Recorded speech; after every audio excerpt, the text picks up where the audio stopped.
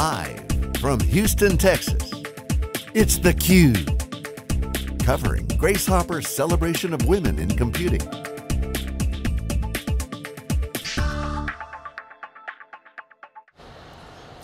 Welcome back to theCUBE's coverage of the Grace Hopper Conference in Houston, Texas. I'm your host, Rebecca Knight. We are joined today with Susie Armstrong, Qualcomm's Senior Vice President of Engineering. Thanks so much for joining us, Susie. Thank you. So, uh, start by telling me a little bit about yourself. How did you get into engineering? Um, I got into engineering, I was always good at math and science as a kid, and I took my first programming class in college. Didn't have programming in high school.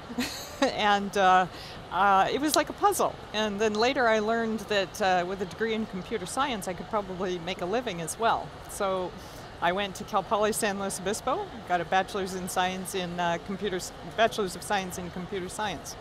And did you have any supportive people along the way? I mean, so much about what we hear about women entering these fields because I'm sure you were sort of a lone soldier at that time, not many women in your computer science classes. It wasn't really common, although there was probably 25% of my, my computer science classes in the 80s were women, okay. which is actually pretty interesting. And I had very supportive uh, parents, and uh, I had very supportive uh, instructors and, and uh, professors as well.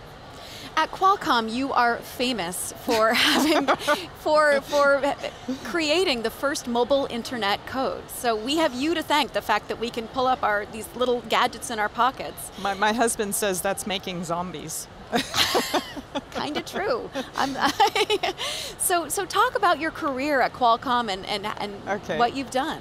Um, so Qualcomm, uh, in those days, in the 90s, is, um, was working on CDMA. Qualcomm created the first mobile, um, you know, the, the first real mobile, commercially viable mobile uh, voice system, and so at the time I had some very supportive management, and they said, what if we use that voice link and we tried to send data over it? And so I created something called Simple Packet Data, and in 19, in three months, um, we got it running, and in 1997, at one of the big uh, CTIA shows in March, we surfed the net on a little display about an inch square, and uh, it really took off from there.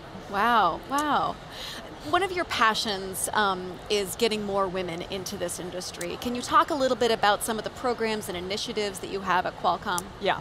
We have a number of initiatives and, and programs. Um, the one I'm particularly passionate about is something called the Thinkabit Lab. And the Thinkabit Lab is a STEM exposure. Uh, right now we're we're working with underserved sixth grade, sixth, seventh, and eighth grade kids. Um, and it's a way to connect um, STEM exposure to careers in engineering and technology for kids that may not ever get exposed to that. So give me an example of how that would work. So they come in for the one day class, they come in and they go through what we call the world of work.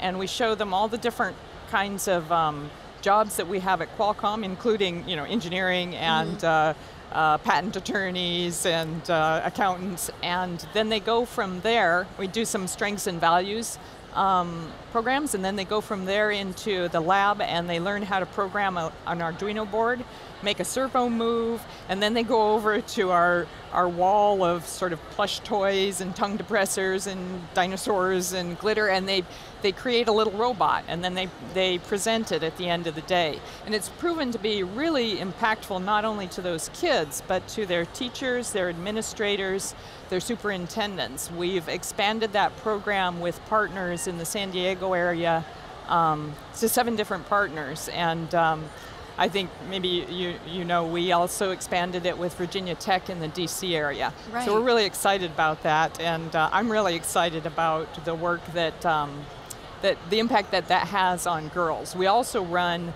what we call Q camps, which are girls only, two week camps um, in the summer and we just finished our third year of a three year cohort of girls, sixth, rising sixth graders, seventh graders, eighth graders and um, we will we are working with Berkeley to do a longitudinal study on how that affects their career choices. So, so this is a long-term pipeline. If you're working with sixth graders, 12-year-olds right now, you're not going to be able to hire them for a good, yeah. a good number of years. Um, what about the, the, the, women who are maybe pre-MBA or pre-engineering ma master's degrees?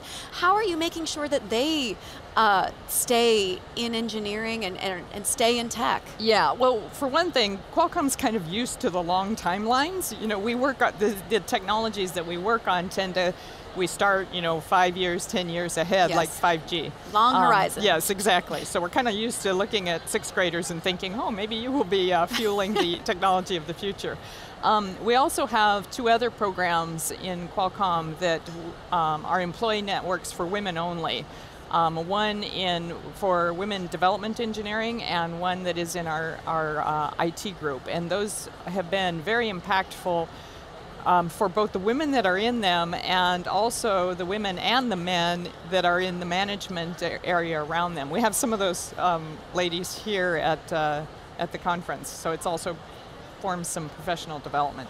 And that you were one, one of you were recently honored as one of the top companies by the Anita Borg Institute, and and and that was one of the points that the Anita Borg Institute made is that companies have to be deliberate, have to be planful about how they are developing their female talent. You can't do an ad hoc program; it's got to be something formal. Right. So, can you talk about how that program, the, the nuts and bolts of it, and what it is?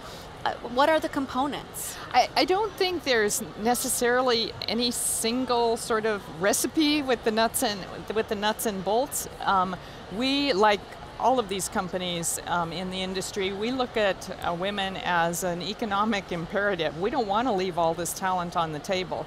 So um, we attack it from many different angles. The STEM exposure for younger kids, um, the support of women and uh, the, the hiring of women into technical jobs, and um, trying to make uh, trying to make the rest of us understand what kinds of barriers these women face. So, you know, I wish I could give you a recipe. I want the secret recipe. sauce. Yeah, yeah. right, right. Um, and I, I, think it's really important that um, you know, Qualcomm's not the only, obviously, Qualcomm's not the only one doing these kinds of, uh, this kind of work because, uh, you know, 10, 15 years ago, there was nothing like the Hopper uh, conference. There was no real um, consortium of companies who, who uh, helped women with their careers and helped them make these choices. So I think the, the nuts and bolts, if you will, are not only at individual companies, they're also in the whole industry.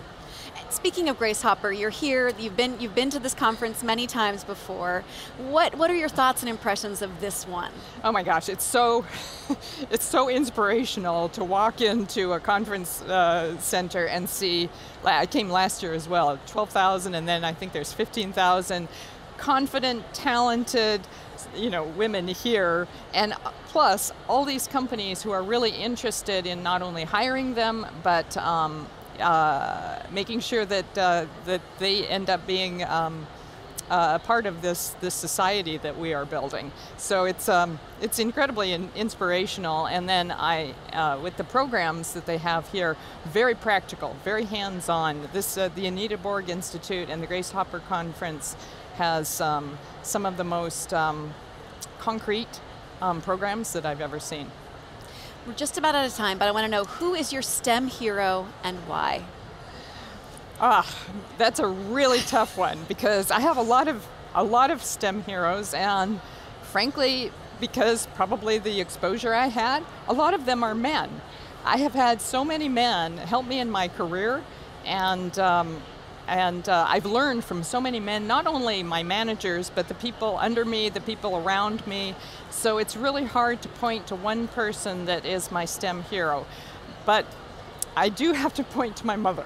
Oh, so in the end, it's, it is yeah. the woman. My, my mother And was she an engineer? She was not an engineer, but my mother could fix anything. She ah. was, and th I think that really, in all seriousness, that really rubbed off on me. If she was faced with something that was broken, she would take it apart and she would, yeah, she was resourceful and she wasn't afraid of anything.